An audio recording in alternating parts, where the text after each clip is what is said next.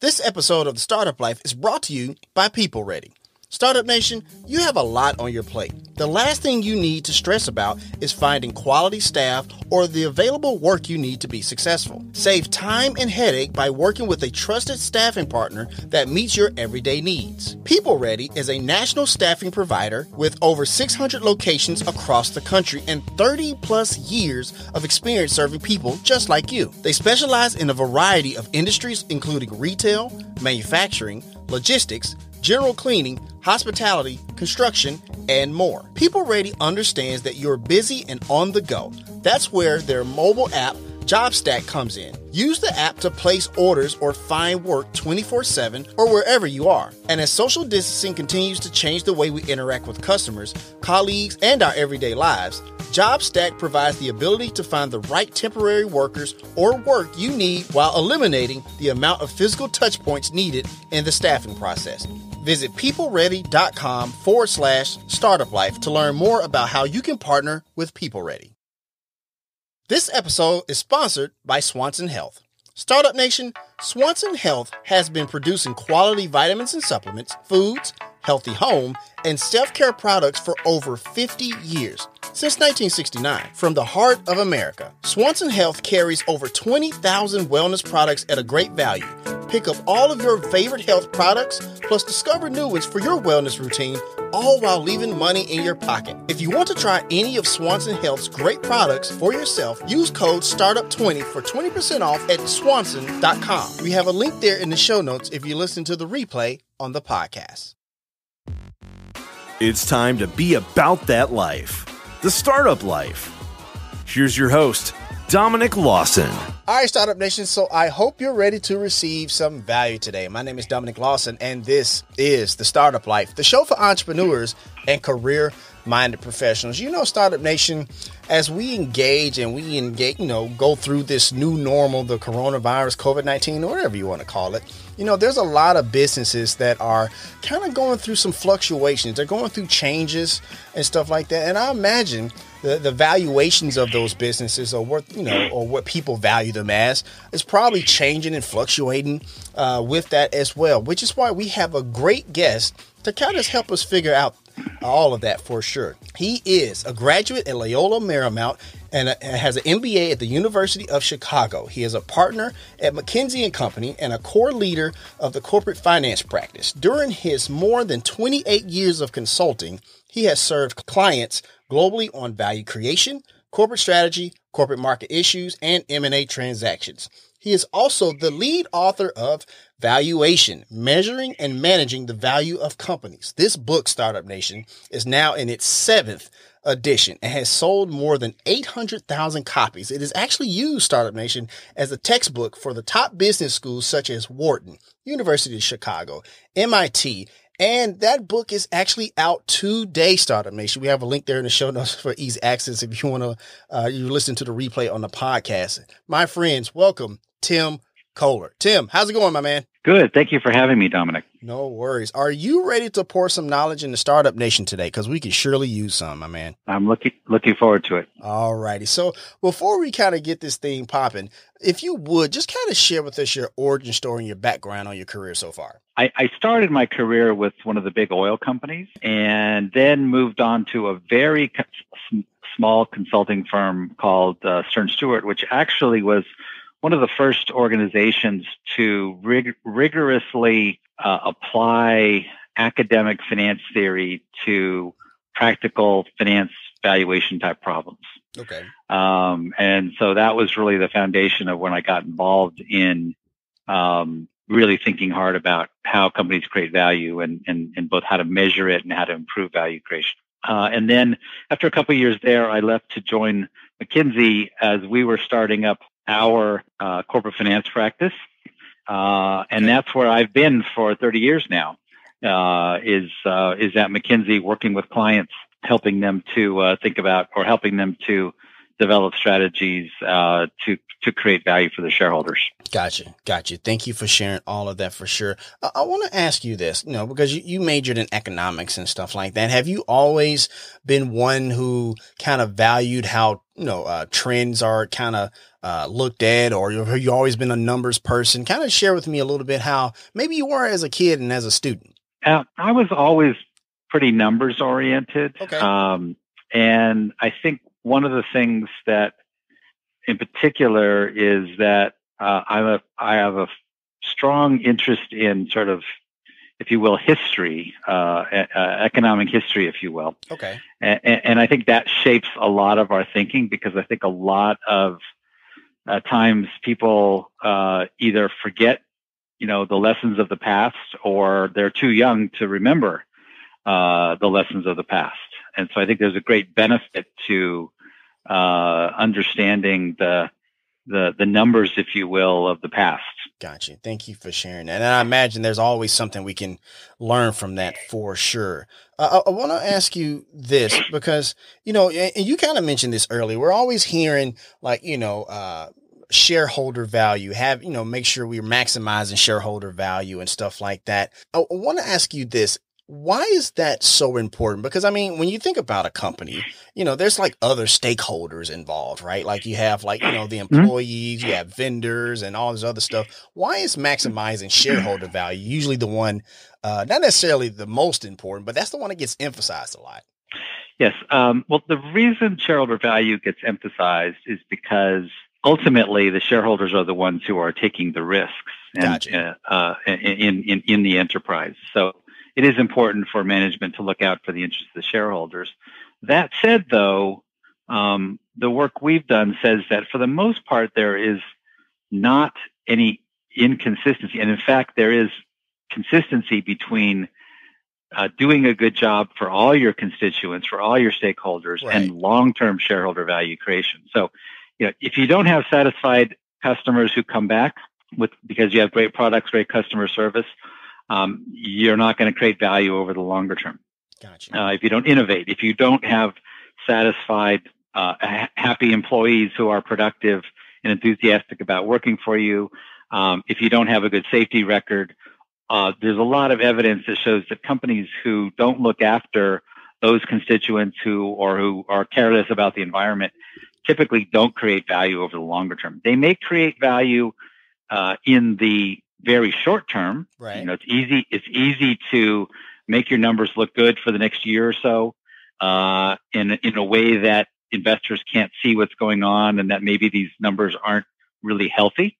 Um, and so it's easy to sort of pump up your share price in the short term, um, but that's different than long term value creation, which is what we focus on. you know, we recently talked to uh, David Cote, the former CEO of Honeywell, and he talked about having like this duality uh, between not not just focusing on the short term, but also kind of focusing on the short term and the long term, uh, you know, Mhm. of a company and, and stuff like that, which I thought was fascinating because, you know, even right now with businesses dealing with, you know, the coronavirus and, uh, you know, and the, I guess the recession that we're kind of in, depending on who you Mhm. ask and stuff like that, you know, a lot of times we're just out putting out fires, especially as small business owners, you know, so Mhm. when you're advising, you know, these, these big corporations and your clients and stuff like that, how do you get them to see not just the putting out of the fires, but also that long term perspectives, even with everything going on? I think that's a matter of really having taking clear stock of your situation Okay.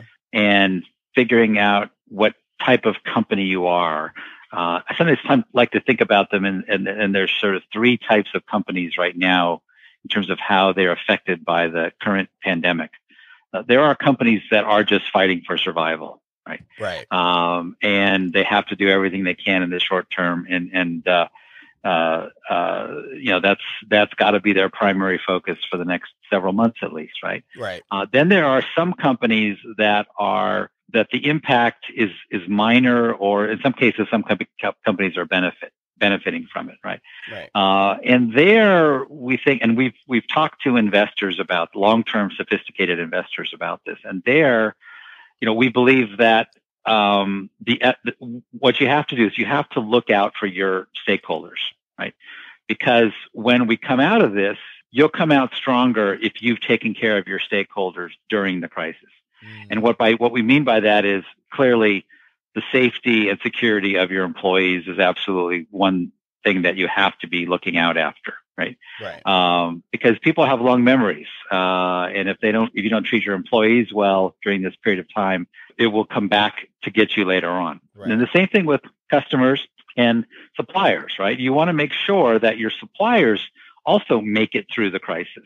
Right. So you may want to work with your suppliers who are weaker than you to make sure you make it through the crisis, uh, maybe by um, it could be financial support or contracts or something like that to, to, to help them to make sure that when we when the economy does turn around, that they're in a position to, to, to, to supply you with what the raw materials and services that you need to produce your product. And the same thing with your customers, particularly if you're a business to business customer, uh, uh, particularly if you're a business to business company where your, your, your clients are other businesses and particularly small businesses. Um, you want to make sure that they're still around after the crisis. Um, so it is important to look out for all your stakeholders during this period of time. It's also important if you do have the liquidity and strength to see if you can use this time to uh, strengthen your position, uh, maybe save versus your competitors. Now's not the time to cut back on innovation, right? Uh, you know, you don't want because the economy needs innovation and, and we don't want to, you know, slow it down by a year because of the pandemic if we don't have to, right? Absolutely. Um, so you want to invest in innovation. Um, you want to, um, you know, continue to improve the operations of the business, improve your customer service, and and learn something from. You know, a lot of companies are learning how to do things better as a result of the virus, uh, uh, the, the the thing. And so, you know, how do you make sure you keep those things going? So we often would argue, argue that companies should have not only a team that's dealing, you know, a management team that's dealing with the current situation, but a team that's, in a way, planning ahead. You could call it a plan ahead team, right? right. Where where the team is sort of saying, okay, as we come, you know, that that is not distracted by what's going on immediately, but is thinking, what do we need to do to make sure that we're in the best position longer term, uh, in terms of our stakeholders and uh, you know our innovation it could even mean attracting talent right now, right?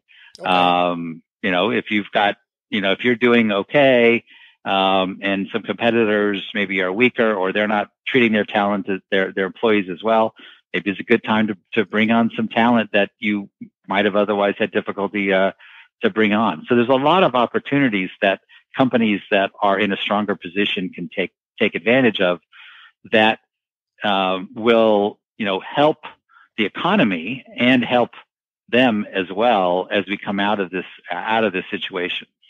So that's the that's the second extreme, and then you've got companies in the middle that obviously have to, you know, that that aren't don't aren't as as strong a position, but aren't you know existentially threatened uh, either, and they you know have to figure out what they're you know, they should you know try to do the same things that the companies that are stronger doing as much as they can they'll have to make some harder trade-offs though because they probably can't do everything that a, that a strong company can do Absolutely. Thank you for sharing that. You know, you, you mentioned something that, uh, that was very interesting because when we talk to Startup Nation, we talk about downturns, recessions, and stuff like that.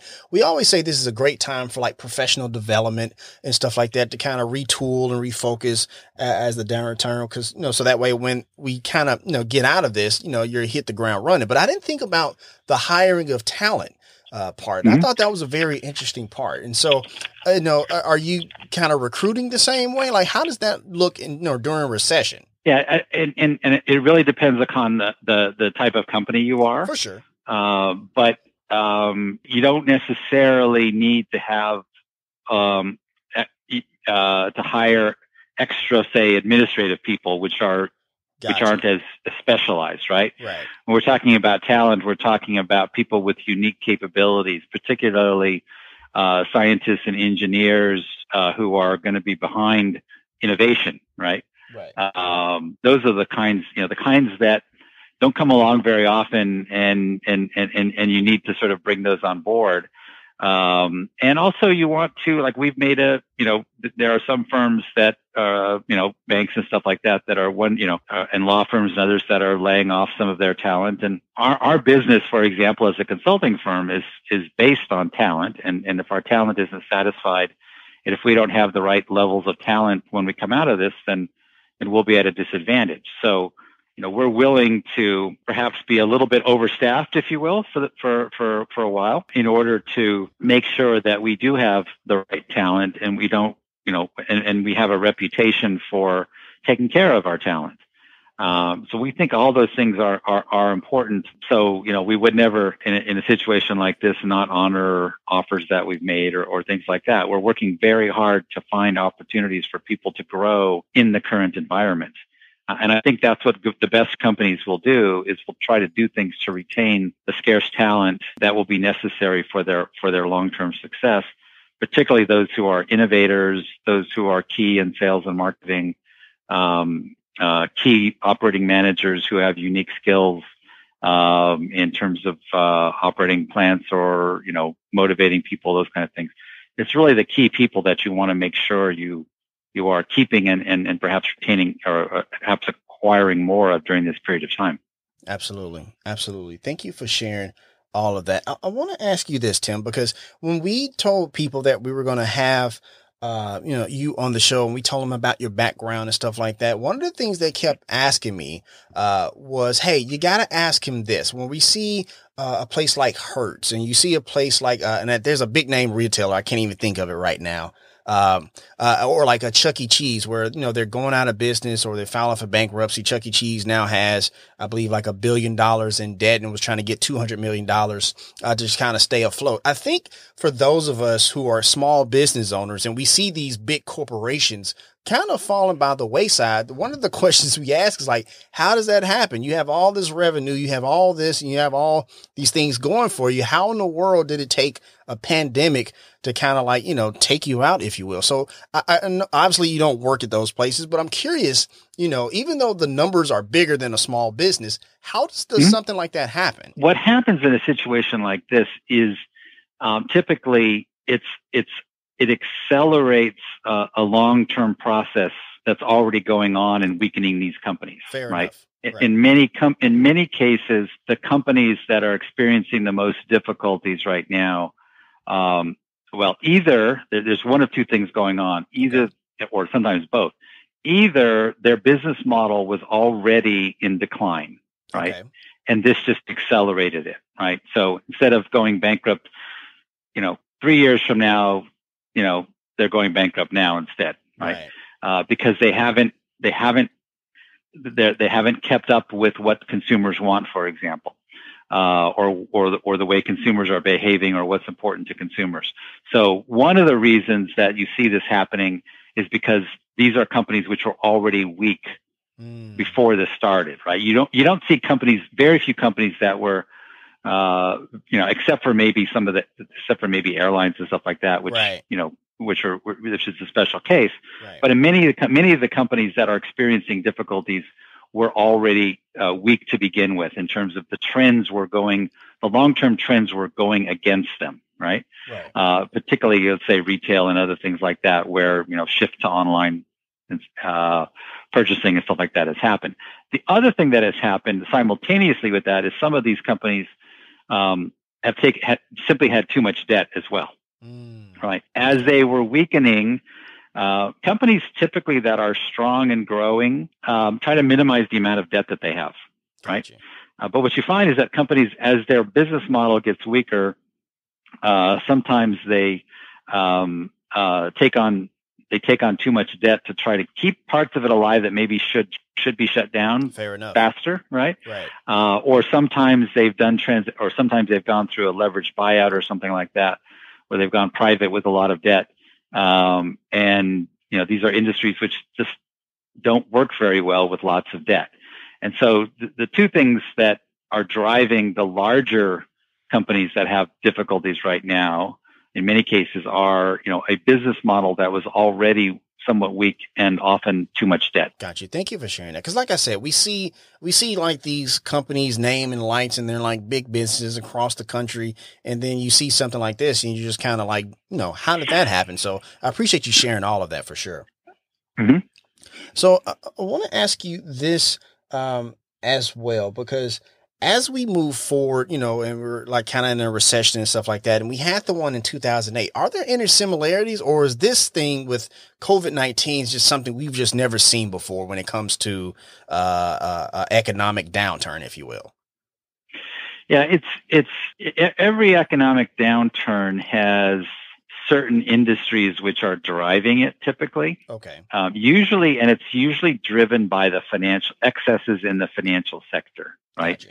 Uh, often related to real estate. If you look at the uh, the the one we had 2008 and 2009, that was driven by real estate. Um, if you look, go back, we had real estate driven crises uh, in the um, 70s, 80s kind of thing. We had uh, other things like that. Um, this one is different in the sense that in, in, in, in a couple of major ways.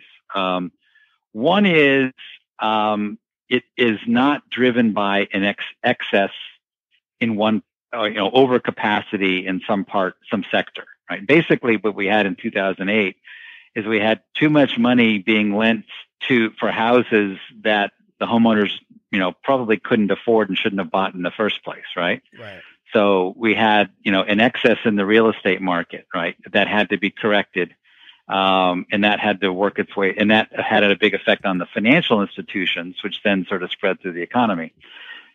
And, and, and that's often the, the, the, the, driver. We had a very mild recession in 2001 after the dot com bubble, right. um, when that we had excesses there. So coming into this one, this one's not driven by an imbalance or an excess in some part of the economy, as the as the recessions often are, right? Right. It's it's it, this is this is one that's effect. It's more like a war, if you will, right? Mm, okay. Uh, in the sense that um, it comes on suddenly, uh, and it's not driven by an imbalance in the economy, um, and it hits a lot of sectors all at once that have nothing to do with the, the sectors not those those industries having done something wrong or having built overcapacity or whatever. Gotcha. So in that sense, it's it, it is very different, right? Um, and it's also very unique in the sense that it has hit hard, you know, those sectors which have um, lots of employees, and so that sort of, you know, reduces um, the the consumer buying power, which reverberates throughout the economy. So you have a lot of things happening all at once in a very extreme way that we haven't experienced before, um, which is why you know there are so many different points of view about how the turnaround may occur and how long it will take because we haven't experienced something like this before. So we don't we don't know what's happened in past ones like this, and we don't know uh, what the right policy prescriptions are for, for, for a situation like this. Got you. Thank you for sharing all of that for sure. Once again, Startup Nation, we're talking to Tim Koller, the lead author of Valuation, Measuring and Managing the Value of Companies. So I want to ask you this because this is the, the seventh edition uh, of your book. And, you know, it, has been adopted by, like we talked about earlier, uh, some of the top business schools in our country. Now, I guess I'm curious, you know, what is it about this book that's, you know, that's just resonated with uh, these schools to adopt this book and to make it so evergreen because you know obviously you have to update it over time because you know things mm-hmm. change and stuff like that. But why uh, why have schools adopted this book so well? I think the reason schools have adopted it and and also you know it's often read by other professionals as well, sure, bankers, sure. uh, corporate executives, and those those kind of things and and and and I think it somewhat goes back to the history of how how the book came about. Okay. Um, we didn't start out to write a book. What what what we did was we set set out to write a handbook for McKinsey consultants, right, mm. on how to do and how to think about value creation, uh, because there wasn't something that we found adequate out there in the market. Um, what we found was that the academic books the, the books written by academics didn't have enough practical detail in them so that you couldn't, you know, on Monday morning get, the, you know, sit down and know exactly what to do with the company's financial statements, right? Gotcha. Um, and a lot of the practitioner books weren't grounded in solid economic and financial theory, right? Okay. And evidence, okay? And so what we did was we brought those things together, right, into something that, you know, was both the foundations are are are, are solidly graded and uh, solid, solidly grounded in economic and financial theory that's been you know well documented, but at the same time, it's very practical.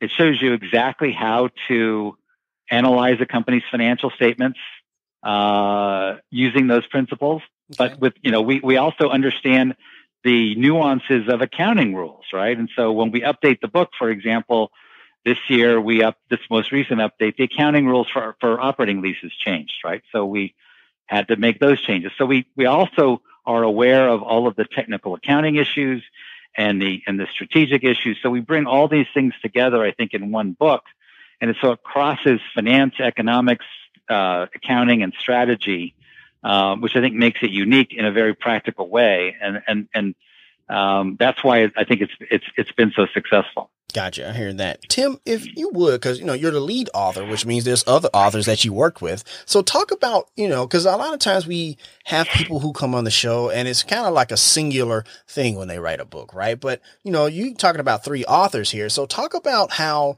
that process was, you know, because, you know, you're three different people, three different doctrines, three different values about how, you know, uh, things should go. So kind of walk me through that process. What was that process like? Yeah. Well, it's interesting because actually the the three author it, the first edition also had three authors but different ones. Fair okay? enough. Okay. Uh, i was one of the I, i've been the only author who's been on the book for the entire period of time. Got it. Um and i was probably because i was the youngest author at the time the first one came out fair enough. right? Um first of all we had a goal you know in mind that we started this out to help the, our consulting practice right mm-hmm. uh, and do better work and we spent a lot of time together hashing things out right? Okay. Uh, he, heated debates late nights etc uh, to try to come up with something um, you know and and also drawing a lot on our other colleagues in the firm right who sure. are doing work with clients. So we had a lot of help. We have a lot of uh, other consultants in the firm. You know if you look through the acknowledgments you see this vast numbers of consultants who help us do analysis who give us ideas, who read chapters and give us advice. So it is a it is a big undertaking with lots of people involved. Um, it for the fourth edition, we changed the co-authors, um, and I and I you know invited two uh, co-authors who I know. Uh, uh, Marc Goedhart, uh, who's at McKinsey still, mm-hmm. and David Wessels, who's a professor at Wharton, who was at McKinsey uh, very early in his career for a couple of years. I knew them both, and I knew that, um, you know, they were the, you know, uh, they were the kind of thinkers that we needed, right? Okay. Uh, and so the fourth edition, we spent a ton of time together, you know, learning how to work together, learning how to come up with a the right kind of style, the right kind of uh, uh, level of detail, et cetera, and and and, and debates because we all came at it from slightly different angles, right? Right. Um, but you know, I think that the the the, the result of that was was very successful. Uh, we've now been working together for for for for quite a few years, um, and um, you know, the, for example, the the first edition that the three of us worked together on was the fourth edition of the book. Uh, we we, we've spent physically time together, a lot Got of it, it, right? Okay. Uh, this last edition, because we've been working together for so long, we spent very little physical time together mm. um, because we can work together now remotely, even before the the pandemic. Right. Uh, we we were doing that because you know we know each other, um, and um, you know we we know how we agree, how we disagree, how to argue in a productive way. Um, uh, so that the end result is always better, right? Right. Um, so it's just it's a matter of uh, you know working with people who that you know that aren't you know you don't want to work with clones, right? Because right? then that you win. You, but you want to work with people who um, you know have the same basic underlying principles, um, the same basic philosophies, but who can also you can debate some of the specifics and by debating those things, uh, uh, do do uh, do a better job. And then we also, as I said, rely on a lot of other people at McKinsey to help us with analyses and with different chapters where they have some expertise. So it's a it's a you know it's a it's a big group effort. Absolutely, absolutely, and and and I love that you talked about how you built that cohesion over time to where even something like not being physically together still allows you to kind of uh, produce some great content and a great book. So I appreciate you sharing that also uh, as well, Tim. Thank you. No worries, no worries. So I want to ask you uh, about this. There's a chapter in the book, you know, mergers and acquisitions, and we hear, you know, mergers and acquisitions, M and A, all the time in the business world. If you listen to Bloomberg or CNBC and stuff like that, if you would kind of walk us, you know, take us behind the scenes of like, you know, what that looks like when a, one company says, Hey, I want to join forces or Hey, I want to acquire you or something like that. What do some of those conversations sound like, Tim? Well, what's interesting is that they're, they're, they're very different. Okay. Um, depending upon the circumstances. Um, because I've been, you know, through my career, I've seen many of them and, um, you know, the, the, the, the range of those conversations is, is all over the place. Um, and I think it's important to distinguish between, you know, very large uh, mergers or acquisitions. You know, we have two large companies coming together um, versus, um, you know, a larger company buying a smaller company. Right. Those two, those two kinds of things are are, are very different, right? Mm-hmm. Um, and it also depends upon, you know, the, the more, I also distinguish it between the more successful and the less successful, right? Mm. Uh, the more successful large acquisitions, you know, focus uh, very much on identifying what the two companies can do together better than that, that they could do separately. Right. Right. Um, you know, so for example, maybe one is strong in one country, another strong in another country, but their products could be sold in both mm-hmm. right? So they can work together to expand that. Um, or maybe there is some um, excess capacity in the industry that they can they can reduce. Um, there's a lot of you know, so, but they really need to spend time. I think the better ones thinking about those kinds of issues, right? Right. Uh, and, and and really focusing on the strategic rationale uh, and the and and the and the benefits that come about from the merger or acquisition, right? As opposed to, I mean, the, the other, you know, there are plenty of uh, uh, acquisitions and mergers where they spend all the time talking about uh, deal structures and you know who's going to have what jobs and all that kind of stuff.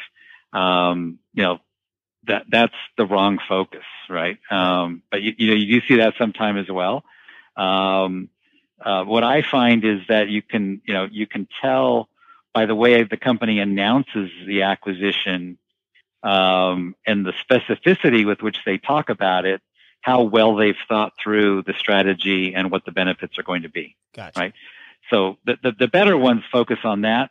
When you're buying a smaller company, also, um, you know, there, there's two kinds of acquisitions of smaller companies. There are those that are those are companies that are sold and there's companies that are bought, right? The best ones are ones where the large company already has a relationship with the smaller company. Okay. They know the management team. There's trust between them.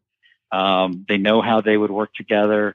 Um, those are often a lot more successful uh, because they don't go to an auction. And then there are those where, you know, the, the companies just put up by, you know, bankers go around and try to shop it, right? And it's very impersonal, you know, um, uh, and you know they're basically just trying to get the highest bidder. Right. Right. So so those have a very different those kind of transactions have a very different feel to them than when the parties already know each other, have worked together, uh, and are you know you know can quickly and trust each other already. Got you. Got you. Thank you for sharing that. Quick follow up, if I could, because you know when you see you know mergers and acquisitions, and, and, we look you know from afar, and we're looking on the business news channel and stuff like that. You know, I, I'm curious to know this in your career. Have you ever seen one of those kind of transactions where you was like, wow, I didn't see that one coming, or it, you know, it seemed like it was a match made in heaven and it just broke down, or in on the forefront, it's kind of like, uh, that ain't gonna work, and then it actually does work. Have you ever seen anything where that's kind of surprised you? Um, not too many that surprised me. Okay. Um, it, from the perspective of working, if there, if if you know, because usually you can tell by the way they talk about what they're going to do okay. uh, and what they're going to accomplish, um, whether they've really thought it through or not. Now, that said, uh, what does surprise me sometimes is often what, what, what the value comes from an acquisition is it shakes up both companies, um, creates a sense of urgency, and it allow and it and it allows them to do things differently and capture value that just because it has created this sense, you know, putting together companies is two companies together is hard, right? Right. And so sometimes it's just both companies could have used improvement, right? And this was a catalyst to make that happen. Gotcha.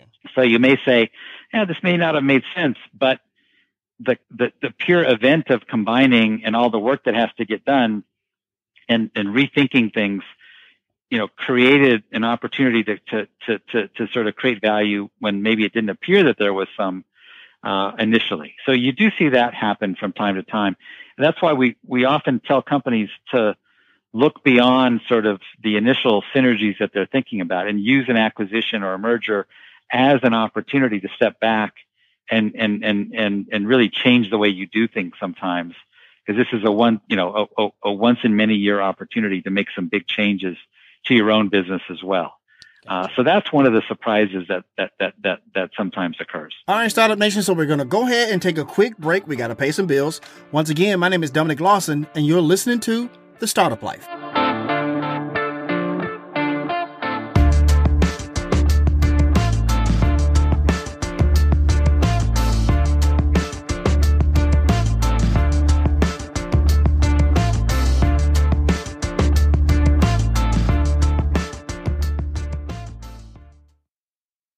Episode of the Startup Life is tucked in nice and tight by Philip Stein and the Philip Stein Sleep Bracelet. Startup Nation, getting quality sleep is super important, especially for those of us as entrepreneurs. I know for me, if I don't get enough quality sleep, not only do I not perform well while working in my business or exercising, but also it really affects my mental health and that doubt starts to creep in. And that's the last thing we want as entrepreneurs. Also, with everything going on, good quality sleep is important to repair the body and support a good immune system.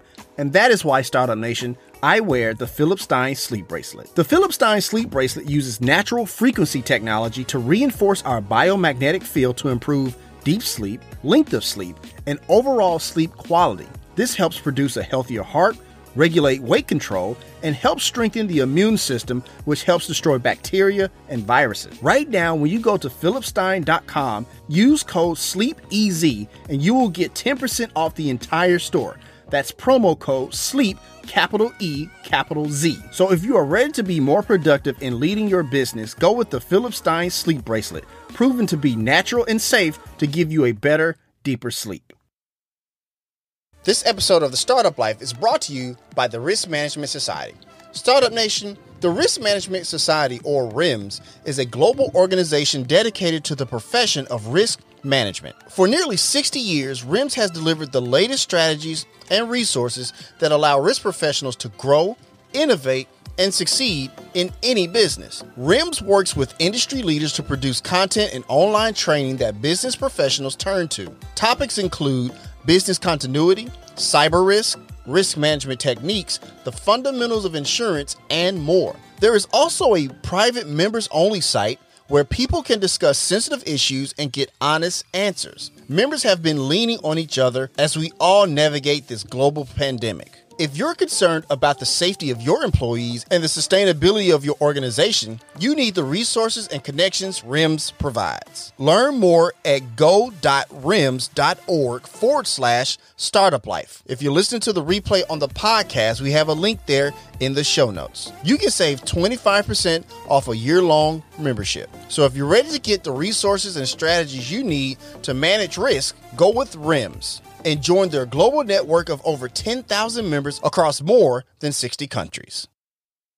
Support for the Startup Life is brought to you by Manscaped, who is the best in men's below the belt grooming. Startup Nation, personal grooming is super important, not only from a hygiene standpoint, but also from a confidence one as well. And that is why you need to have a tight haircut and, well, a nice groomed undercarriage as well. And when doing that, you don't want to use the same razor, do you? That's just absurd. And this is why our friends at Manscaped have given you another option. Introducing the all new Lawnmower 3.0 by Manscaped. This lightweight and waterproof razor features precision engineered blades for safe trimming in sensitive areas and a 7000 RPM motor with quiet stroke technology. Ladies, Father's Day is just around the corner and this will make a perfect gift for that guy on the go. Use code the startup life in all caps for 20% off and free shipping on your brand new lawnmower 3.0 at manscaped.com. We have a link there in the show notes for easy access if you listen to the replay on the podcast. And while you're there, be sure to check out all the other products from manscaped.com as well. So for proper manscaping without the fear of hurting anything, go with Manscaped. Trust me, your family of jewels will thank you. All right, Startup Nation, welcome back as we continue our conversation with today's guest here on The Startup Life. You know, Tim, I was looking at a, a, video that you were featured on, and you were talking about how sometimes there's like the surface of like, you know, what's going on, and then there's the underlining features. You, I think you gave the example of the S&P 500 at the time when you were recording that video, and you was talking mm-hmm. about how it, you know, it's, it's doing well, but it like, but when you look underneath it all, how there was basically four companies, not necessarily propping up the other ones, but having a strong, significant pull on what those numbers uh, look right. like. I, I guess I'm just curious, you know, why is that important to not just go for the snapshot? You know, when you're making business decisions or whatever the case may be, when you're not just to go for the snapshot, but to dig a little deeper into the numbers, into what you're digging into in order to make, uh, basically to, in order to do your uh, due diligence, if you will, before you make a decision. Yes. Uh, and it's the same with whether you're looking at, you know, the S&P 500 or whether you're looking at, um, um, a company, right? So if you're okay. looking at a company, let's just say you're looking at a company though, most larger companies are composed of smaller business units, right? That okay. may have different products, different geographies, um, and uh, what we off what you'll typically find when you go into a company, right? And if you look at the key drivers of profit of, of its success, namely, you know, what is its, how fast has it been growing its revenues? What is its return on capital? You'll find that there are vast differences across a company, okay. right? Uh, and that's important uh, because uh, if you're going to improve, whether you're thinking about acquiring a company or if you're just managing a company, right? You can't you can't manage every part of the business the same way, right? Right. If you've got some growing business units, you have to help them grow. And if you've got some stagnant business units that maybe their market is mature, maybe they should focus on cost cutting, right? Okay. So looking at the company as a whole. So one of the one of the things that I think companies fall into a trap in to say, okay, we're going to do cost cutting this year, right? And so everybody has to cut costs including the newer businesses, which have tremendous growth opportunities and should be focusing on growth, not cutting costs. Right. Mm, right. Uh, and so the chan, you know, so so the way that you create value uh, with a company is not by, you know, if you're the CEO of a company, is not by saying, oh, you know, it's not by having broad, big programs that everybody has to follow. Typically, right? Right. It is it is by figuring out what is the right strategy and what are the right metrics uh, and and what is for each unit, right? That has its own sort of economic characteristics gotcha. because you have to tailor it.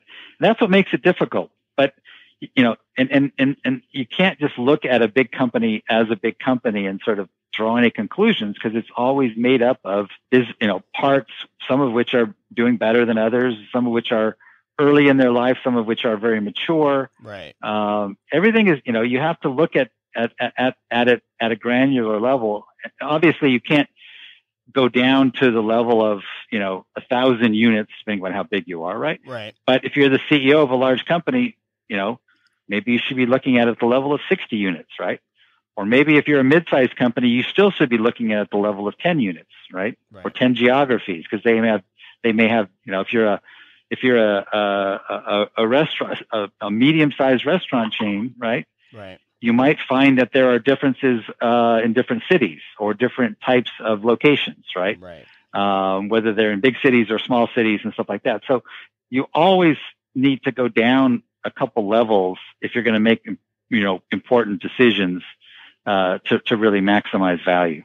I hear that. I hear that. Thank you so much. And when you talked about, you know, looking at uh, business at a granular granular level, it goes back to that other question I asked you when I was talking about, like, you know, how can those big businesses be kind of failing when we see them as successes? But you know, like you said, there's there's something at the granular level, obviously, uh, that's going on there. Once again, Startup Nation, we are talking to Tim Koller, the uh, lead author of Value Asian. Uh, I want to ask you this, Tim. You know, you know, you help, you know, consulted with a lot of companies uh, and stuff like that. You know, when you decide to say, you know, I'm kind of done with this, I'm gonna go fishing.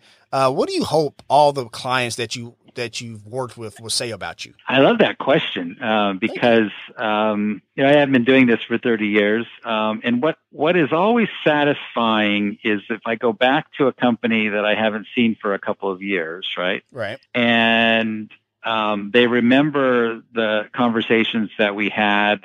Maybe we had a workshop. Uh, maybe we did a consulting project. Maybe we just did some counseling and it changed their thinking about the way they think about their business, right? Mm, gotcha. Um, and so that's what I'm always looking for. I, am always that that's what makes me most satisfied is when when clients look back and say that you know you you you you taught us something that stuck with us that was universal that we weren't thinking about uh, and that we use it still today five years later ten years later those ideas and they've and they've lasted and and, and they've made a big difference. Gotcha. Um, that's that's really what um, what you know where I get my greatest sense of satisfaction. Gotcha. I hear that. Thank you for sharing that. So when you do decide, to, you know, if you decide to hang it up or whatever case may be, what would you do? Would you go fishing? Would you take up any new hobbies? What, what would be next? What would be the next chapter? Um, well, that's an interesting question. Um, uh, after 30 years, I am trying to contemplate that right now. Fair enough. Um, uh, and, and, and probably what I'm, my current thinking is that I would like to stay at McKinsey doing a lot of what I'm doing. I've already turned over a lot of my managerial responsibilities. Okay. Right. Uh, and so I focus primarily on um, helping my colleagues with their clients. Okay. Gotcha. Which I enjoy a lot. Um, you know, getting called in to help my client, help, help clients solve difficult problems, help or, or run workshops with clients to teach them new things and stuff like that. I intend to do that, um, and I and I love working on advancing the knowledge. You know, when three clients have a question, the same question, you know that there's a lot of other people out there with the question, and it's worth doing some research on Mhm. to figure out what the right answer is. Uh, so I, I intend to do that. I just I just would hope I'm planning on doing it at a at a at a slower pace. Gotcha. Okay. Uh, and so instead of, you know, uh, full time, probably, uh, you know, uh, uh, three day a week type of schedule Okay. kind of thing instead of a, instead of a full, full schedule for, for, for the foreseeable future. Um, I also like to lecture, uh, at, Okay. in, in schools, do that a little bit. Um, I also would love to, um, get more involved in, um, I'm involved in some nonprofits. I'd like to put more time in there. Um, uh, uh, in two areas. One is in ed- education, and one is in sort of um, uh, helping to educate people or helping to do research on um, on, on on on economic topic topic issues. And then I also finally, and I don't want to underemphasize this. Um, uh, I want to make more time, and this is probably one of the most important things, Okay. uh, especially in the you know i i you know i i as you get older, uh, more time for riding my bike, uh, exercising, uh, and traveling with my wife. Got you. Got you. Okay. What, what were that, if you're traveling with your wife, what's that one destination you got to go to? What's that one destination? Uh, well, we've done lots of them. Um, so um, Australia, New Zealand is sort of one that because it's so far away, we've never done before. Okay. Um, so that's probably uh, high on our list just because of its remoteness. Fair enough. We we, we lived in Europe for five years uh, as part of McKinsey, Right. Cause Amsterdam, Uh, so- right? and I was in the Amsterdam office for Right. five years. So we spent a lot of time traveling around Europe. So we know Europe quite well. There are still some places to see in Europe, uh, but you know more. Uh, you know, uh, Australia, New Zealand, and Asia probably be the places that uh, that we focus on. Gotcha. Gotcha. Thank you for sharing all of that for sure. If I were to ask, you know, one of your clients or one of your partners or anybody you work with there at McKinsey, if I was to ask them what's what's Tim's superpower, what would they tell me and why? Um, I think my superpower, um, and and from what people have told me, is the uh, ability to to to make things as simple as they can Fair to enough. get across the idea, right? Yeah. Um, you know, I, I always um, like I think it was Einstein who who said, you know, you, you- know, the goal should be to make something as simple as it as possibly can, but not too simple, right? That Right. where you lose the essence, right? Uh, and I think that's what I always try to do when I talk to audience because they, you know, executives got a lot of things, a lot of input. You know, um, uh, I teach, for example, I do run workshops for marketing executives, um, and they're not that different than what I would talk to with the CEO or the CFO, but they've got so many things going on. They want to know the essence of what is important to remember. So I, I, I when, when I, I think my superpower is to try to reduce things down to their essence, simplify them so that people can remember them and act on them, right? Right. Um, and so, you know, you know, take give you an example. I may know a lot about cost of capital Mhm. and how to measure it, and, and I could debate it with academics and, and and stuff like that. Right. But the reality of it is, you know, most senior executives, even CFOs, no, don't need to know much about it, right? Right. So I'm not gonna I'm not gonna spend a lot of time on that. I'm gonna spend more time saying, okay, what really matters to your business, right? Right. is you know revenue growth and return on capital, right? And I'll spend a lot of time, uh, uh, you know, just giving examples, showing how those work, so that they come across with the tools that they need to run the business without all the extraneous complications um, that someone needs. You know, there's someone in the accounting department needs to know how to do the accounting, but you know, you know, we don't need to sort of have all those qualifiers. We want to get right to the heart of what are the things that really make a difference. And and and know, it reminds me of there's a, there was a um, a, a mathematics professor from the University of Texas who Okay. who said uh, the typical calculus textbook consists of two ideas and 1198 pages of examples and illustrations, right? Uh, and I think a lot of uh, a lot of fields are like that, and I think finance is like that as well. And so we've tried to condense, you know, what are the key things you need to know, uh, the four or five things you need to know to really help you think about value creation, solve finance problems, uh, and and and and really get down to the essence of what is going to make a difference here, uh, and not get sort of caught up by the peripheral things. I think that's my superpower. I hear that. And, and I appreciate that because I know a lot of times, you know, when we're talking about what you do, Tim, there's a lot of things where it's just kind of like, oh man, that's a lot. And so to have that superpower is extremely important, uh, I imagine. So I, I appreciate you sharing that for Yeah. sure. Yeah. And I also, it also comes out in the way you, and also, it also comes out in how you talk, how you, the words that you use, right? Absolutely. Absolutely. Um, you know, I, I, it drives me crazy when, when, when consultants and bankers and uh, lawyers use jargon, right? Right. Uh, and Yeah. you don't need jargon. You know, you, you can use simple words and it's a lot more effective. You, you know, you don't need to prove to people how smart you are by using, you know, jargon or fancy words. Uh, you'll be a lot more effective uh, in convincing people something if you use explain it using the most you know typical simple language that possible. For sure. And, and Tim, I appreciate you saying that so much. That reminds me, uh, my wife uh, was an educator for 12 years, and she always talk about the, uh, the the effective filter. And so when you use jargon, a lot of times that effective filter goes up, and so the main message that you're trying to get across doesn't get them across because you're trying to use all these big words and jargon. So I definitely, Exactly. I definitely appreciate uh, you saying that for sure. Uh, once again, Startup Nation, before I ask my last question, just want to say thank you uh, to Tim Koller, the lead author of Valuation, Measuring and Managing the Value of Companies. That book is out today, Startup Nation. Go to the link in the show notes if you're listening to the replay on the podcast. And also, if you want to check out uh, McKinsey and Company, make sure you go to McKinsey.com. We have that link there in the show notes as well. But Tim, uh, I'm actually going to turn the microphone over to you because there's somebody out there in Startup Nation that's feeling a little down on themselves, they're feeling a little discouraged with everything going on, and you've had a very successful career. If you would, just kind of give us some words of encouragement to take us out for today, if you would, sir. Yeah, I think the words of encouragement I would give are, you know, everyone I know in my career has had some down, some periods, you know, where it looked like things weren't going well, including myself. Um, you know, where things just weren't, you know, clicking.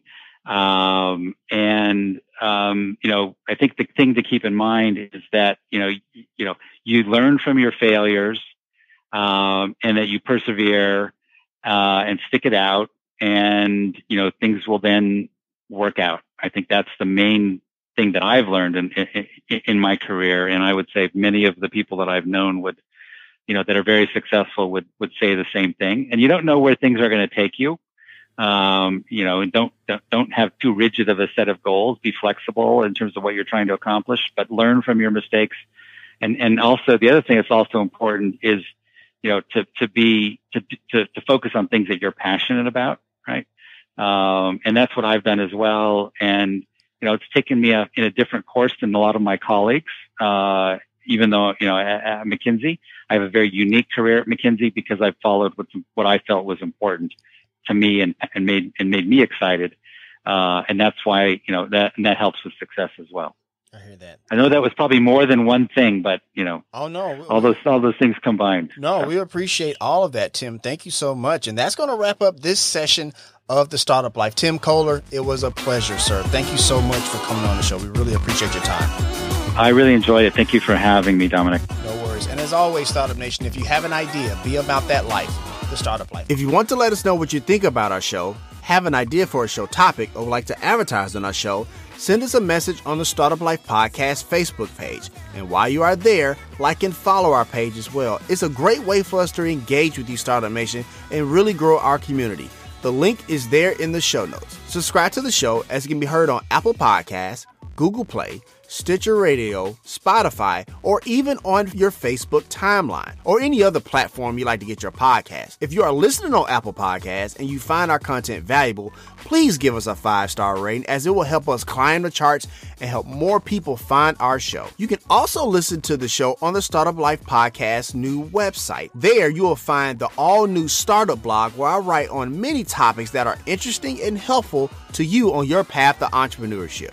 And hey, if you have an idea, be about that life, the startup life.